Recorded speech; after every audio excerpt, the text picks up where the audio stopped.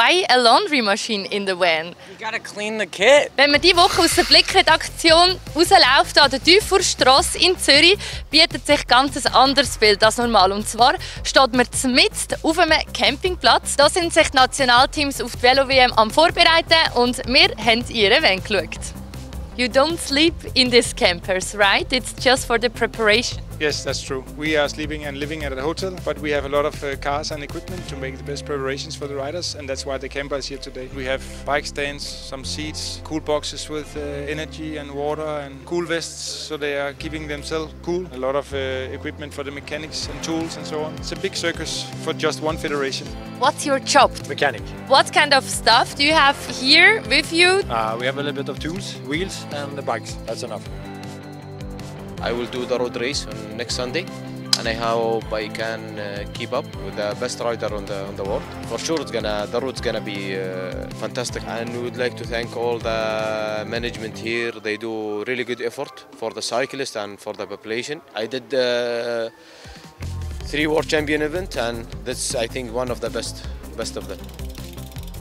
You have a big, big van. What is inside there? All of our vans have laundry machines. We have to clean stuff. And when you're here for a week, you're gonna need to do a lot of laundry.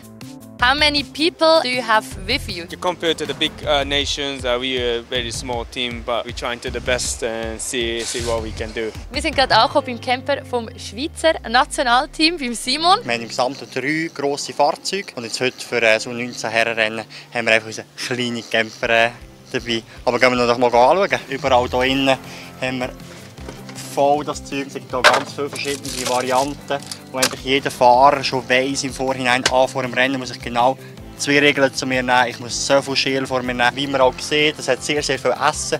Aus Velofahren ist immer ein grosses Thema, dass man genug Kalorien zu sich nehmen kann. Darum ja, haben wir sicher auch genug äh, Esswaren hier, die kalorienhaltig sind. Was haben da so für Produkte rum? Ich sehe so ein bisschen Brot, es hat aber auch Chips, Snacks, Schoki. Nach dem Rennen macht es Sinn, wieder den Zuckerhaushalt aufzufüllen. Dementsprechend ja, sicher äh, die schnell verfügbaren äh, Sachen.